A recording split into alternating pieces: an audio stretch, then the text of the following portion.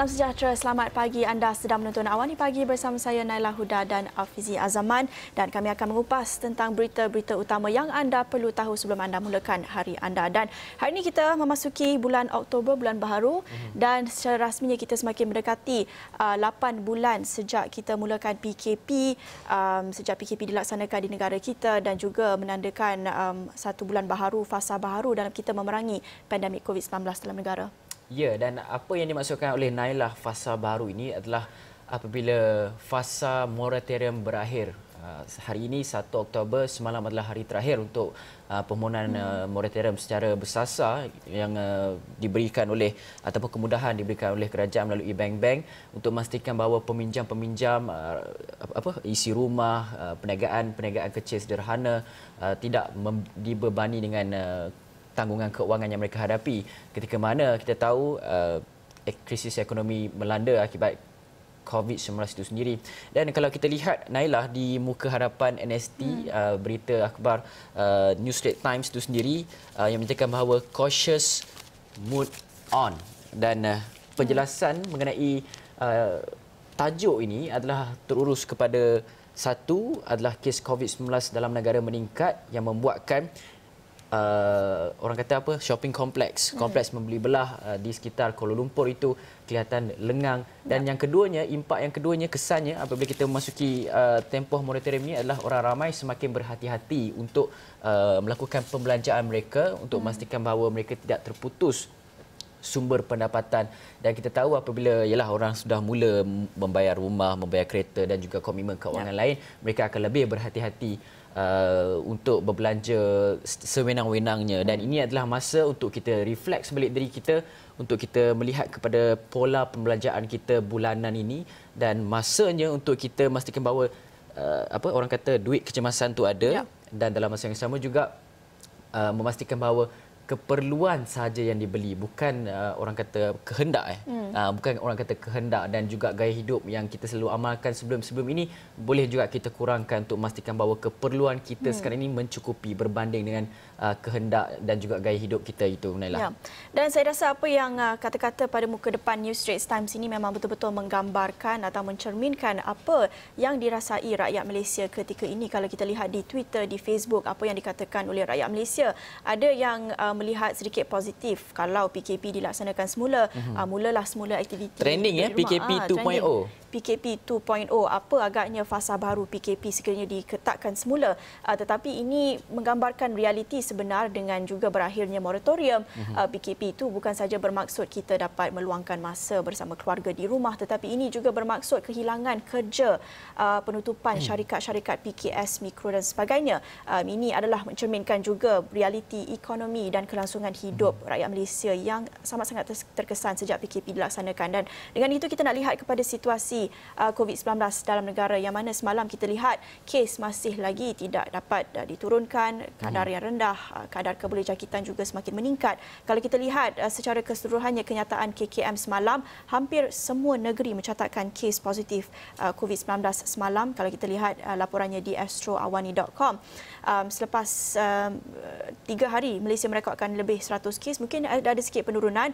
Uh, semalam ada 89 lagi kes baharu dan daripada itu 86 kes adalah penularan tempatan. Ini menjadikan jumlah kes positif adalah sebanyak 11,224 dengan kebolehjangkitan uh, 1,121 kes.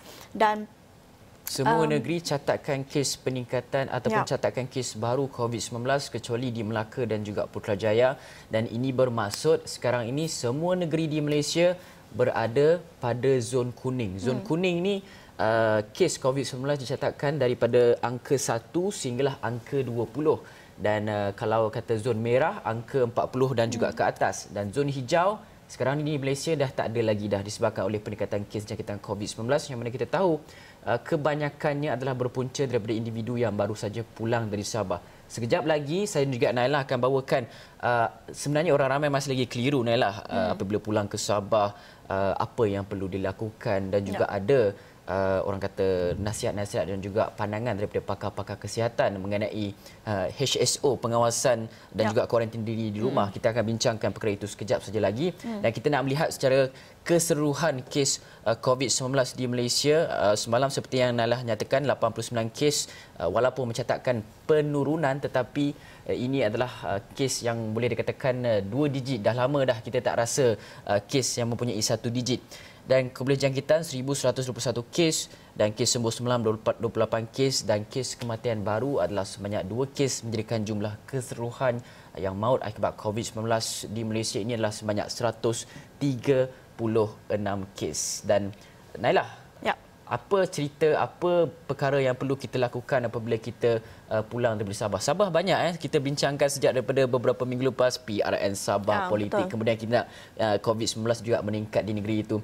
Jadi kita nak pergi kepada COVID-19 di Sabah ini ada kekeliruan yang berlaku. Orang ramai masih lagi tak faham uh, apa yang perlu dilakukan apabila pulang daripada Sabah. Dan hmm. sekiranya ada kerakan-rakan kita yang berpulang dari Sabah dan dia tidak tahu apa yang perlu dilakukan dan sebagainya ini adalah ceritanya Nela. Ya, mungkin ramai juga yang keliru kerana mungkin perintah yang dikenakan ataupun SOP yang dikenakan terhadap mereka yang pulang dari Sabah ini juga berubah ikut uh, dari semasa ke semasa mengikut keadaan juga dan ini juga antara SOP ataupun uh, garis panduan terbaru yang baru saja dilaksanakan susulan uh, PRN Sabah mungkin juga menunggu sehingga semua pulang dari Sabah uh, apa segala uh, perkembangan politik juga mhm. selesai mm-hmm. di sana. Uh, jadi ini kami sediakan laporannya apa yang anda perlu tahu sekiranya anda pulang dari Sabah seperti yang uh, kita mengikut apa yang diumumkan oleh Menteri Pertahanan ataupun Menteri Kluster Keselamatan Datuk Seri Ismail Sabri Yaakob. Um, setiap individu yang tiba dari Sabah diwajibkan menjalani ujian saringan COVID-19 bermula 27 September lepas.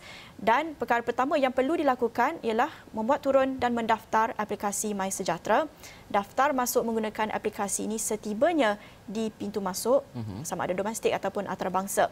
Kemudian anda perlu menjalani ujian saringan COVID-19 dan juga perlu menjalani kuarantin sehinggalah keputusan diperoleh. Ini sangat penting. Uh-huh. Dan kesemua individu ini akan diberi surat perintah pengawasan dan pemerhatian di rumah HSO dan dipakaikan gelang tangan.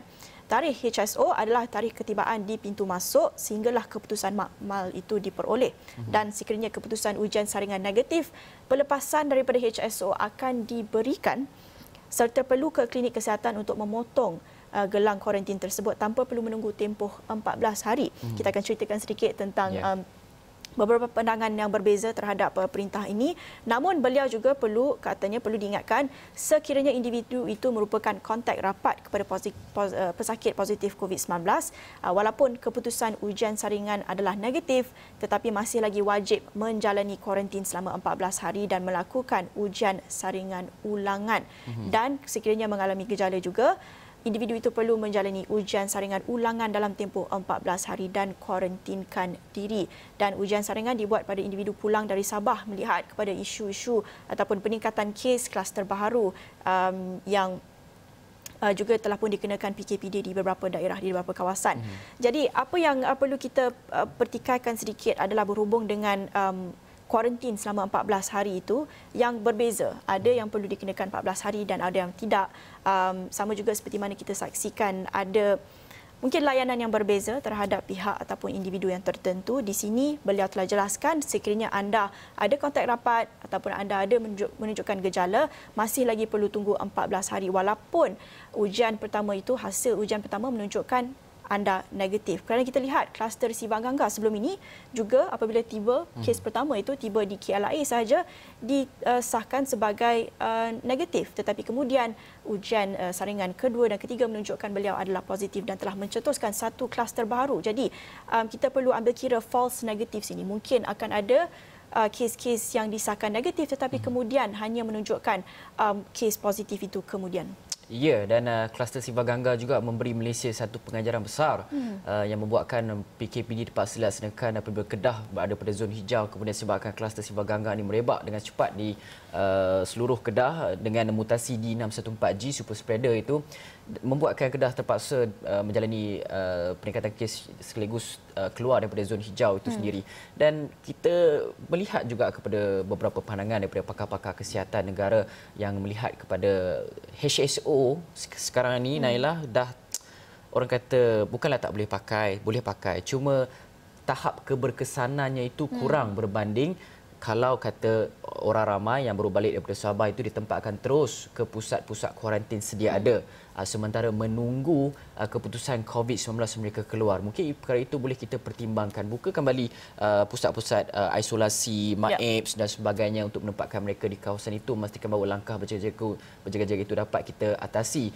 Kerana apa? Pengajaran yang kita dapat adalah apabila HSO itu tidak dipatuhi, gagal dipatuhi oleh individu-individu yang baru pulang daripada kawasan-kawasan uh, yang mempunyai kes COVID-19 tinggi ataupun uh, berisiko tinggi, hmm. membuatkan kluster baru itu muncul dan seperti kita tahu sekarang ini Malaysia mengalami uh, peningkatan kes COVID-19 semua negeri dah uh, mengalami zon kuning hmm. dan lagi zon hijau dan inilah perkara-perkara yang perlu kita mungkin perlihatkan ataupun perketatkan sedikit SOP uh, ketika mana orang ramai sebenarnya bimbang shopping kompleks lima shopping kompleks di uh, sekitar Lembah Kelang uh, hmm. mempunyai kes kejangkitan COVID-19 dan uh, membuatkan orang ramai lagi takut nak keluar sekaligus ini akan membuatkan hmm. proses uh, uh, pemulihan ekonomi itu akan berjalan agak sedikit perlahan berbanding uh, ya. biasa dengan setelah usaha yang kita lakukan hmm. uh, selama beberapa bulan ini untuk memastikan bahawa ekonomi kita lebih cepat pulih daripada seperti uh, sedia kala itu. Ya, kerana kalau kita lihat uh, mungkin tumpuan sebelum ini banyak terletak pada Sabah kerana kebanyakan hmm. kes direkodkan, kebanyakan kluster dikenal pasti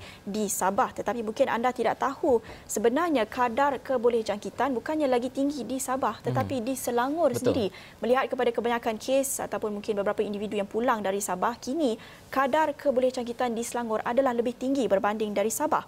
Um, ini melihat kepada kadar kebolehjangkitan ataupun RT ataupun R0 uh, sebelum ini um, itu yang perlu kita capai. Tetapi kadar R0 sedikit ini di Selangor adalah 1.95 iaitu lebih tinggi dari Sabah uh, melihat kepada kes jumlah harian um, baru daripada 2 hingga 3 kes kepada 10 ke 15 kes itu adalah peningkatan yang mendadak. Mhm. um, dan RT ini sebenarnya menunjukkan kadar secepat mana penularan COVID-19 ini merebak. Dan mungkin kita tak dapat kenal pasti uh, kes-kes positif COVID-19 di Selangor ini sama ada adalah mutasi baru ataupun tidak. Tetapi telah pun dikenal pasti di Sabah. Jadi ada kemungkinan um, berlaku mutasi kluster-kluster ataupun kes-kes baru yang direkodkan di uh, Selangor ini. Uh-huh. Jadi kalau kita lihat nilai RT di Sabah seperti yang diumumkan oleh Ketua Pengarah Kesihatan, uh, nilai RT di Sabah telah stabil walaupun masih berada pada tahap 1.29 semalam.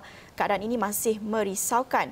Uh, nilai RT mungkin akan meningkat jika kita tidak mengambil langkah-langkah intervensi kesihatan awam yang optimal. Um, sementara itu kita juga melihat kepada nilai RT di Kedah yang ada menurun sedikit um, daripada 1 kurang 1 kepada 0.65. Jadi kadar kebolehjangkitan ini sangat penting dalam masa yang sama kita juga melihat kepada uh, beberapa jumlah kes ataupun jumlah pesakit yang sedang menerima rawatan uh, di hospital. Itu juga um, kita lihat uh, kes uh, aktif ketika ini. Itu juga menandakan uh, tahap mana bahayanya ataupun risiko jangkitan uh, hmm. di masyarakat kita. Dan seperti mana yang Afizi katakan tadi um, ada banyak pandangan terhadap uh, pengena uh, ataupun bagaimana uh, HSO ini dikenakan perintah kuarantin di rumah uh, hmm. uh, bagaimana mereka tidak uh, ataupun pihak berkuasa tidak mengambil tindakan ataupun langkah untuk uh, menghantar mereka terus ke pusat kuarantin dan sebagainya. Uh, mungkin SOP dan garis panduan ini berubah dari semasa ke semasa dan juga melihat kepada beberapa pihak tertentu yang dilayan ataupun menerima layanan yang berbeza. Um, dan susulan daripada itu kita lihat di media sosial sudah sudah pun tercetus satu gerakan baru. Sebelum ini kita lihat hashtag kita jaga kita. Sekarang ya. ini ada kita ataupun rakyat jaga rakyat. Melihat kepada situasi dan juga garis panduan yang mungkin berubah. Sekarang ini rakyat ataupun netizen di media sosial melihat ini adalah peranan mereka sendiri sendiri untuk um, masing-masing bertanggungjawab. Tidak kisah apa garis panduan yang disediakan tetapi mereka ambil um, inisiatif. Mereka mengosongkan kompleks-kompleks seperti belah ini melihat kepada kes-kes baru. Tidak perlu disuruhkan lagi. Kalau ada risiko jangkitan itu melihat kepada kes-kes baru di mana saja mereka sendiri ambil inisiatif elak tempat-tempat yang sesak ini. Bagi saya ada dua perkara penting sebenarnya hmm. uh, melihat kepada kes COVID-19 di Malaysia ini. Satunya adalah uh, kita perlu melihat sama ada kes-kes uh, penularan di Sabah itu uh, Kedah Sabah sebelum ini telah pun disahkan mempunyai mutasi di 614G hmm. dan apabila kes-kes daripada Sabah dikesan di Semenanjung uh, Kementerian Kesihatan Malaysia melalui uh, Institut Pendidikan Perubatan IMR mungkin boleh mengesahkan sama ada uh, COVID-19 kes-kes di Semenanjung, Semenanjung hmm. daripada Sabah ini adakah ia terkesan ataupun uh, mempunyai mutasi D614G itu sendiri.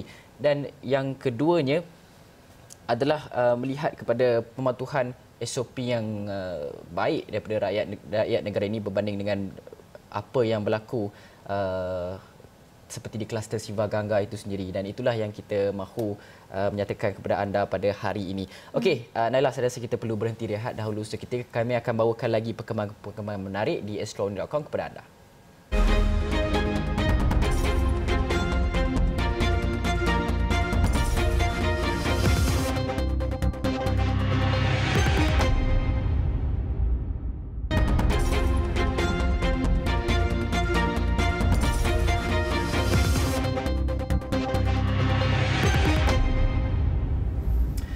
Terima kasih kerana setia menonton kami di awal pagi dan membincangkan mengenai berita-berita yang menarik yang perlu anda tahu sepanjang memulakan hari anda untuk hari ini 1 eh, Oktober moratorium telah tamat bermulanya fasa baharu buat Malaysia melihat kepada eh, peningkatan kes COVID-19 dalam masa yang sama pemulihan ekonomi juga perlu dititik beratkan. Okey, dalam masa yang sama juga pergi kepada perkembangan politik tanah air walaupun selepas kita baru saja menjalani PRN Sabah hmm. dan kita nak melihat juga ada desas-desus yang menyatakan bahawa uh, sama ada PRU yang ke-15 adakah hmm. ia akan diadakan dalam tempoh yang terdekat ataupun tidak dan uh, berdasarkan kenyataan daripada Perdana Menteri yang menyatakan bahawa 2023 bulan Mei nanti barulah uh, tamat penggal untuk uh, penggal kali ini. Tapi itu juga uh, ditafsir oleh penalisis-penalisis politik yang menyatakan bahawa itu memberi indikator bahawa uh, PRU 15 kemungkinan besar kerajaan akan melaksanakan dalam tempoh yang terdekat dan hmm. ini adalah pandangan-pandangan daripada semua pihak rakyat pakar-pakar kesihatan juga pakar uh, penalisis politik dan juga aktivis itu sendiri kami mengambil kira ke semua perkara ini uh, melihat kepada kenyataan Tan Sri Lilam Tai yang merupakan seorang hmm. aktivis katanya uh, merujuk kepada ura-ura yang uh, kemungkinan besar pilihan raya secara mengejut akan diadakan. Uh, kata beliau ini bukan masa untuk bercakap atau menuntut uh, kebebasan individu sebenarnya lebih hmm. penting adalah usaha merencanakan kebebasan dari perasaan ketakutan, jangkitan dan juga penyakit di seluruh negara. Uh, kata Tan Sri Lam Tai, uh, setiap usaha setelah langkah penjagaan kesihatan yang baik diketengahkan KKM dan uh, dalam memerangi wabak COVID-19 itu seharusnya disokong penuh oleh uh, semua pihak dan juga semua ahli politik dan ura-ura mengenai PRU tahun ini saya harap perkara ini hanya spekulasi semata-mata kerana sekarang ini ya. pastinya bukan masa untuk mengadakan pilihan raya. Yang pertama, faktor kos untuk adakan pilihan raya perlu difikirkan kerana pilihan raya perlukan pembelanjaan yang banyak yang sebenarnya agak kesempitan sebabkan masalah ekonomi punca daripada uh, COVID-19 itu. Hmm. Katanya hmm. selain itu negara juga tidak boleh sekali lagi mengharungi kebangkitan gelombang jangkitan baru yang pastinya akan berlaku jika orang ramai berhimpun untuk berkempen dan juga mengundi dalam pilihan raya. Apa yang menarik mengenai uh, saranan daripada Tan Sri Lamtai ini adalah sebenarnya SPR pun semalam menyatakan bahawa hmm. uh, berdasarkan laporan daripada uh, media tempatan juga menyatakan bahawa mereka berharap uh, pilihan raya umum itu tidak diadakan uh, dalam tempoh yang terdekat ini kerana mengambil contoh apa yang berlaku pada PRN Sabah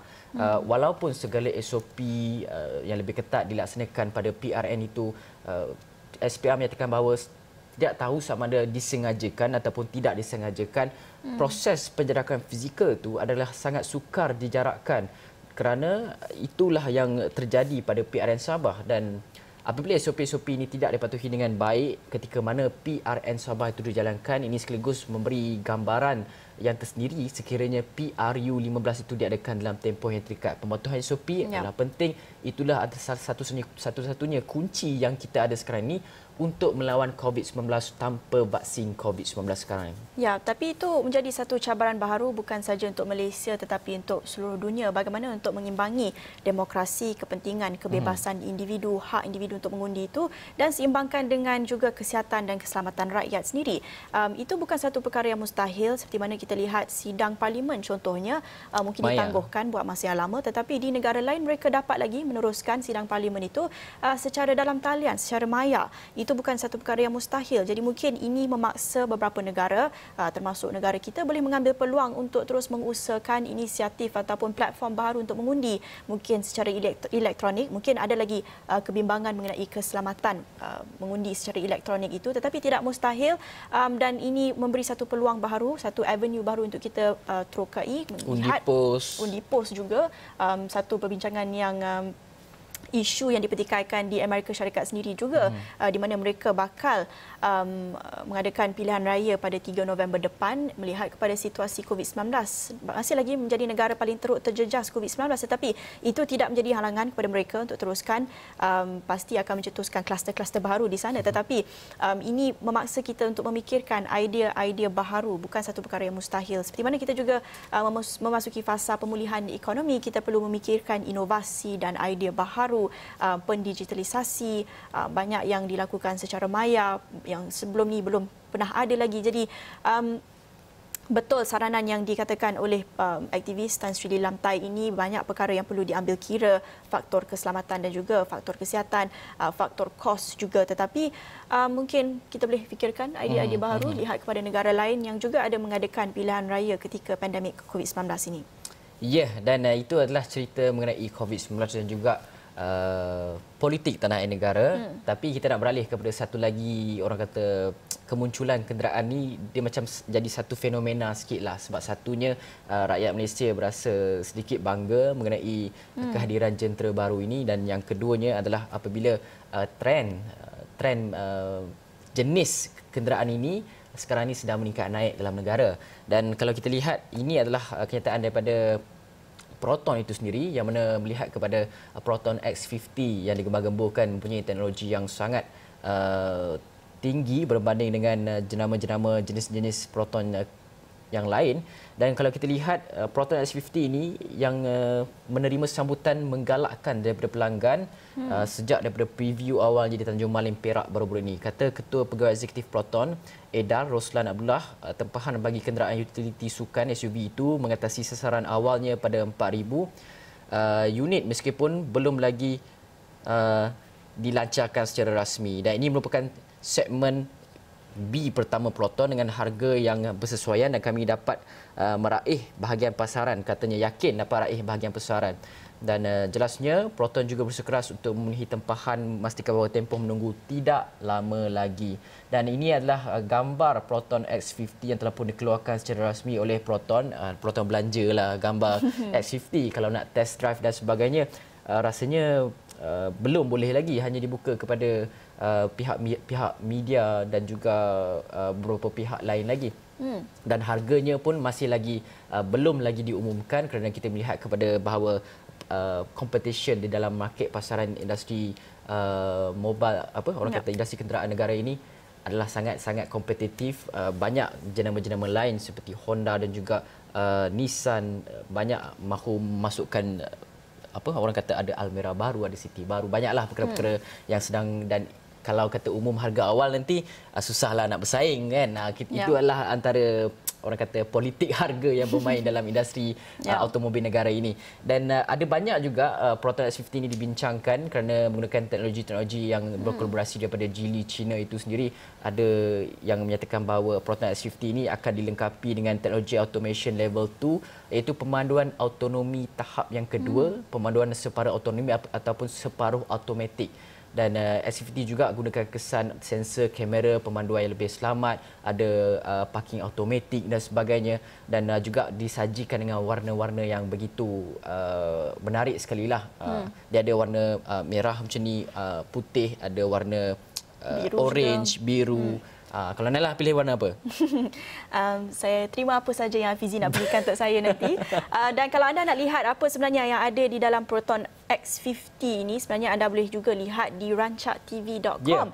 Uh, mereka ada test drive dalam uh, Proton X50 ini bersama dengan wakil Proton sendiri melihat hmm. kepada teknologi-teknologi dalam itu ada yang kata boleh um, parking sendiri bantu hmm. mereka bukan saja perempuan tetapi lelaki juga yang tak reti nak parallel parking boleh bantu juga bukan saya walaupun saya reti parallel parking tapi satu kita melihat um, kepada majoriti ya Naila. Ya.